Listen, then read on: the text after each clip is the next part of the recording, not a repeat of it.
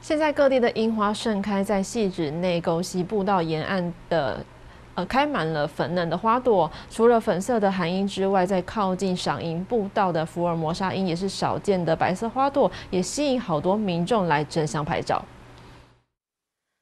从赏鸟亭沿着步道走，除了有五分皮湖水生态可以看，这阵子樱花盛开，也吸引一波波的赏樱人潮。抬头望去，开满粉色花朵的，这是从一月中就开始绽放的寒樱，现在进入尾声，但还是好讨喜。看到这么多人来，长期以来栽种维护的李明，也是内沟溪绿美化成员，就直说好有成就感。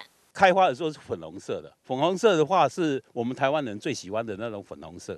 哦，它而且它刚好又在过年过年前后开花，非常应景。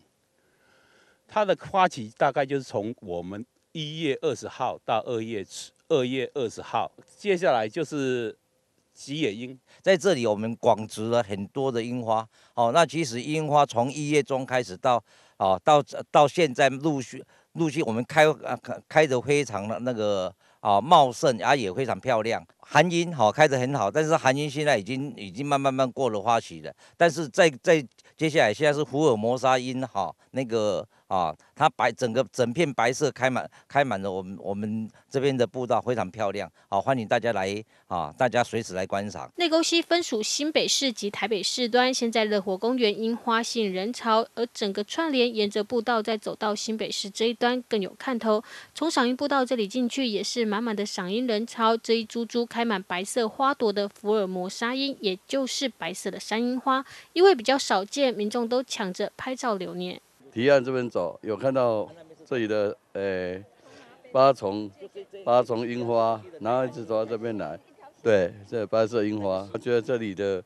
风景改善很多，很漂亮。好，大家看到我后面还有我前方，全部都是这个福尔摩摩沙摩沙鹰。好，那这边的话，大家看到我的我的左左左下方指的地方哈，这个地方就是我们跟台北市乐活公园啊中间中间的衔接的步道，所以基本上这边的整个樱花跟啊乐活公园的樱花都是一体的。那我们在这边是经过几个我们这边志工大家长期的努力哈，现在开始慢慢开花结果。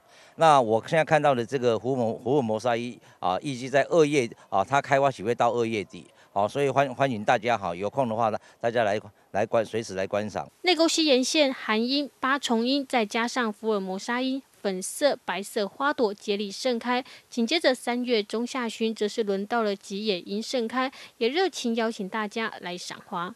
这场惠林细致采访报道。